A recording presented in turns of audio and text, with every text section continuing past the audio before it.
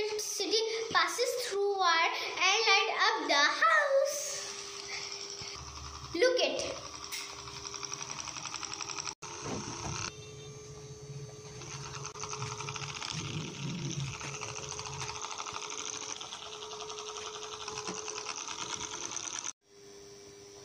Oh.